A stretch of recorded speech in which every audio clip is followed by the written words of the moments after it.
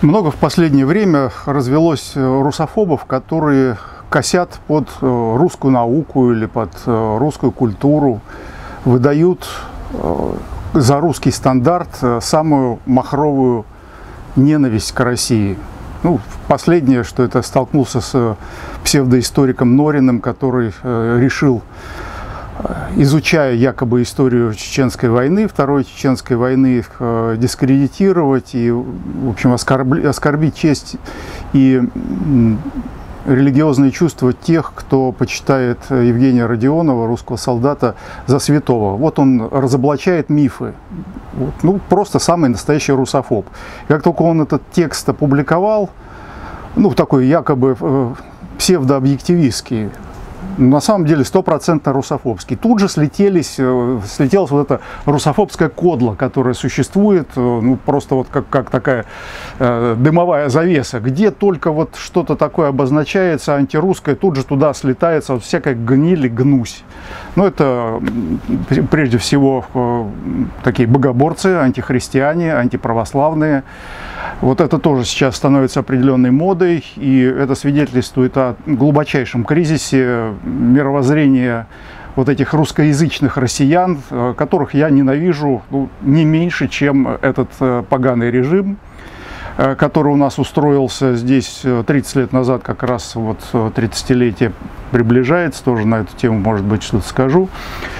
Вот. Э, а искреннее переживание за э, Россию и русских э, встречается крайне редко. Вот я хотел прочитать два стихотворения, которые недавно увидел. Как-то вот они одновременно в сети мне попались на глаза.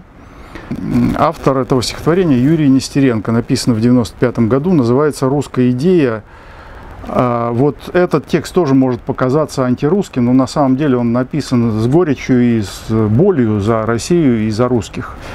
Вот, и здесь надо, есть такая тонкая грань, которую далеко не все замечают. Русская идея, ну, в таком как бы критическом, это, конечно, не русская и не идея, это э, антирусская э, ментальность, я бы сказал, воспитанная в советский период, и сейчас вот э, воплотившаяся э, просто в шквал, водопад русофобии, которая хлещет просто отовсюду и, естественно, никем не преследуется, кроме моего презрения, я со своей стороны этим людям ничего не могу предоставить. Если бы власть была русская, то все они бы сидели в тюрьмах.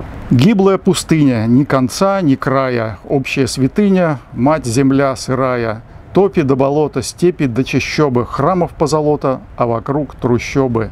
Завывает в юго, гонит снег по кругу, коротка кольчуга на спине у друга. Глушь до буераки, воровство до драки, до срамные враки вечером в бараке. Прем с мольбой о чуде прямиком в трясину, каждому Иуде личную осину, каждому кумиру возжигаем свечи, да грозимся миру встать с холодной печки. Вот подымем знамя, да пойдем с боями.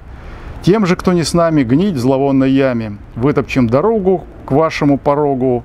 Пусть идем не в ногу, но зато нас много. Пыл наш не умерить, рвемся в бой отважно, главное, чтобы верить, а во что не важно – не считаем трупы, не боимся мести, ничего, что глупо, главное, что вместе. Пить так до упаду, мордой в грязь размаху, нету с нами сладу, вон огнали страху. Все кругом поруша, перед образами изливаем душу пьяными слезами. Нас, видать, по роже, выросших без нянек, нам свой кнут дороже, да заморский пряник. Мы в гробу видали ихние конфетки, будем жить и далее в клетке, как и предки. Нам все перемены, как седло коровье, грязи по колено, да по пояс крови. Завывает в юго, свирепеет стужа, ничего, что туго, может быть и хуже. На таком морозе к черту все приличия, по уши в навозе, веруем в величие. Кто кого замучит на лесоповале, нас ничто не учит, мы на всех плевали. Нас любая гадость может распотешить, в нас добро и святость тех, кто спорит, вешать. Нищая лачуга стынет под сугробом, завывает в юго, как вдова над гробом. Очень грустный э, стих. Э, если считать, что он написан русофобом, то очень остро и точно попадает прямо в сердце.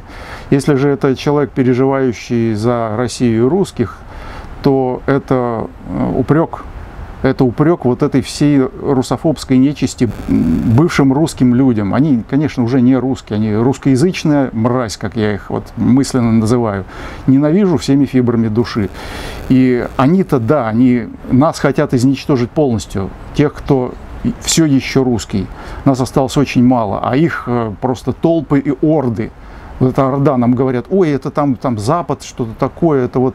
Нет, это вот прямо перед нашими глазами люди, которые рождены русскими родителями, говорят по-русски, учились в русской школе, ну, по крайней мере, хотя бы чего-то знают там, начиная с Пушкина, а превратились в нечисть просто. Вот за 30 лет э, вот этого правления ельцинско-путинского вся страна наполнена мразью. И этой мрази подавляющее большинство. Вот и притесь на свои выборы, негодяи, только не с нами. И не говорите, что вы русские, вы не Русь поганая. Вот вы вот, вот как здесь написано, такие патриоты, любящие начальство, а не родину, а прикидывающиеся, что любите родину. Вот. И вам все надо, все святое, величественное, честное, надо все испоганить. Надо э, всем наплевать в душу. За границей наплевать в душу, здесь все плевать, загадить и вот в грязи и крови. Вот это ваша жизнь, ваша судьба. Мы эту судьбу не принимаем. Мы чужие для вас. Мы вы для нас чужие, мы с вами не имеем ничего общего. Ничего общего, даже язык у нас разный, и смысл этого языка разный. Мы расходимся э, навсегда и, и напрочь, и между нами война на, на уничтожение. Я хочу, чтобы вы были все уничтожены, все до одного. Прививки вот и делайте, очень хорошо, делайте. Вот вы, подавляющее большинство, пойдете за этими прививками. Вы ненавидите не только нас, русских, но и себя ненавидите. Ну, такова ваша судьба, вы ее сами выбрали. Вот. А другое стихотворение, наоборот, жизнеутверждающее. Автор стихотворения Максим Золотарев. В этом году он написал это стихотворение, и меня радует, что есть люди, которые самоутверждаются в своей русскости вот таким образом, такими стихотворениями, и в них выражается мировоззрение, конечно же. «Я русский» называется стихотворение. «Я русский, значит, я силен, я русский, значит, я красивый. Того, кто против нас, возьмем не словом лесным, значит, силой. Я русский, значит, я умен. Я русский, значит, я великий. Зверей, кочующих племен, посадим ребрами на пики.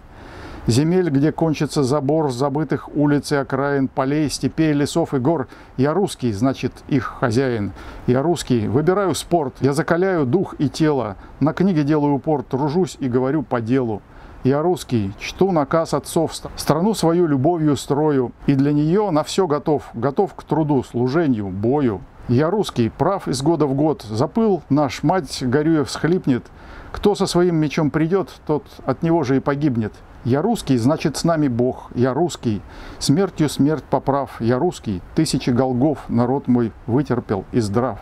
Я русский, то есть славянин, я русский, то есть православный, я русский, то есть я один свершить способен подвиг ратный. Я русский.